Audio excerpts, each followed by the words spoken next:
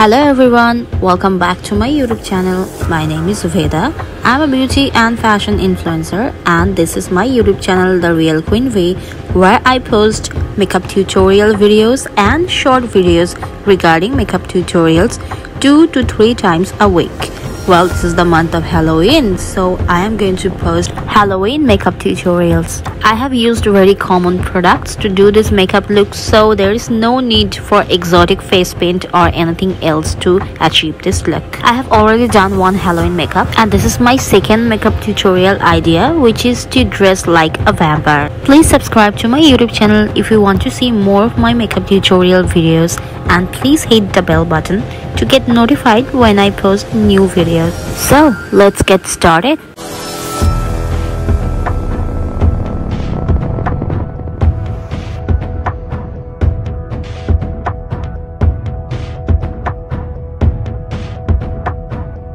At first, I'm gonna moisturize my face using Bella Vita Organic Rose Glow Face Gel Cream. I'm applying Lakme Absolute Skin Natural Mousse. The color is Ivory Fair 01 as the base. Today this color is one tone lighter than my original skin tone and also this is quite dry so that's why the requirement of the moisturizer applying is all over my face including my lips and my neck i'm starting to contour now with makeup revolution conceal and define full coverage conceal and contour and the color is c16 dark brown I want harsh contour today just like they show in the cliche vampire movies. So I'm applying this contour in a large amount so that I could get those harsh contour lines. I'm blending this with a beauty blender.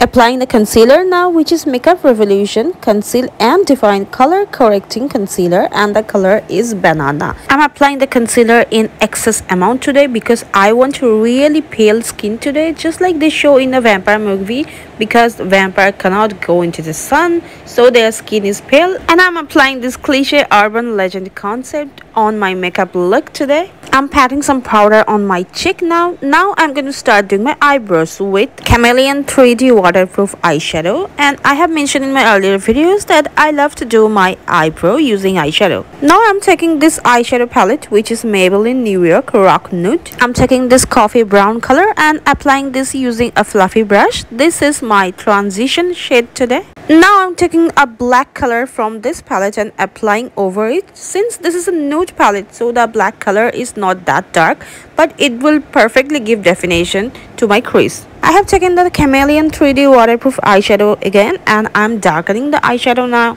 I want to have a beautiful butterfly cut crease eyeshadow today. Now I have taken a blending brush which is a fluffy brush and I'm blending this black eyeshadow a bit. Now I have taken an earbud and a makeup remover which is Garnier Micellar cleansing water. And I'm going to clean my crease now using this because I'm going to draw a cut crease here and I'm going to apply really light color. And since this is a black eyeshadow here so if I apply the colors over it it's gonna look really dark and dirty and messy I'm taking the same concealer which I have taken to conceal my face which is Makeup Revolution Conceal and Define Color Correcting Concealer. And the color is Banana. And I'm cutting the crease using this concealer it is not necessary that you have to draw a cut crease for this vampire look. You can just simply go for the orthodox black smoky eye look for this. But since my eyes are hooded so this kind of cut crease eyeshadow looks the best on me. Now i'm taking the off-white color from the palette maybelline new york rock nude to fill up this cut crease region. I'm taking the eyeshadow palette chameleon 3d waterproof eyeshadow again and i'm filling rest of the part of my crease as I have mentioned that this is going to be a butterfly cut crease eyeshadow. So this is exactly what I'm doing. I will finish rest of my eye makeup later moving on to my face makeup. Now I'm cleaning my cheek now with a big round brush. And now I'm going to start baking my face using Lakme Rose Powder. And then I'm gonna do that dramatic face makeup using Makeup Revolution Maxi Reloaded palette Monster Mattes. This eyeshadow palette is highly pigmented so I would recommend this for doing this dramatic makeup and I'm gonna apply this on my cheek to look like really tired or haven't slept for days which is a perfect look for a vampire. Then I have taken the brick red color from this palette and I'm applying this over it using a smaller brush which will make me look more like an undead or a vampire. Well, you can clearly see that now I'm looking like an undead. I'm taking the dark brown shade from this box of Swiss Beauty lip liners and I'm gonna draw this pattern on my cheek which is an inspiration from the Vampire Diaries show. It is the same pattern that shows in the Vampire Diaries show that when they turn into vampire, their face become grotesque and there is some vein-like lines appears on the cheek and I'm trying to draw the same lines First, I'm drawing this line using this dark brown shade. Then I'm gonna overdraw using a black gel eyeliner or a kajal. I'm not directly drawing this using this black color because I'm not confident about this but instead drawing using this brown color and then overdrawing which will give much more accurate finish.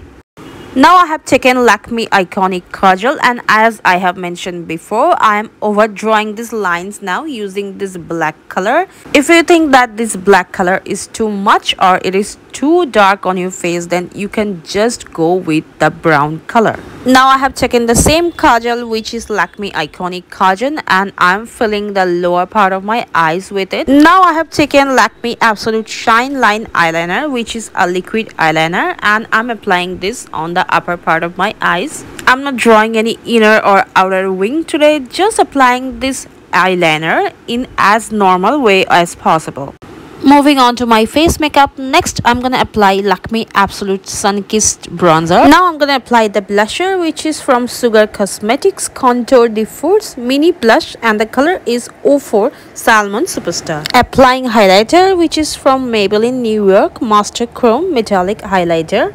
Do not apply the highlighter over the region where you have drawn those vampiric effects because it will settle down the look. Before applying the mascara, I'm gonna curl my lashes now using a lash curler. Then I'm applying my mascara which is from Maybelline New York. I'm gonna apply the fake eyelashes next which is from Kalalis and the eyelashes are magnetic eyeliners and magnetic eyelashes which is exactly what I use all the time.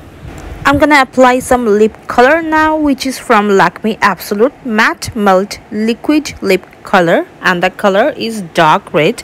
I'm using this particular color to get more vampiric effect. I'm not overdrawing my lips or anything. I'm just following my natural lip lines and I'm applying this. To give more vampiric effect, I'm gonna draw some curved lines from the corners of my lip as if I have just drank blood and at the end of the curved lines I'm gonna apply the lip liner in excess amount to get the perfect dripping blood effect. My makeup is finished. Now I'm going to put some costume and wig and let me show you the final look.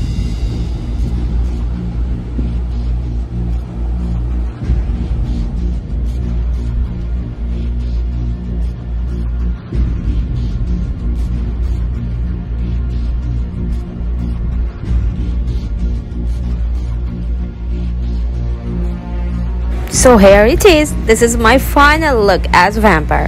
Thank you so much everyone for watching this video. If you like this video, then please don't forget to like, comment and share. And also please subscribe to my YouTube channel The Real Queen Vee. I'm also on Instagram. My handles are Veda Chat and The Real Queen Vee. And I'm also having a Facebook page with the same name as this YouTube channel which is The Real Queen Vee. Bye guys. See you next time.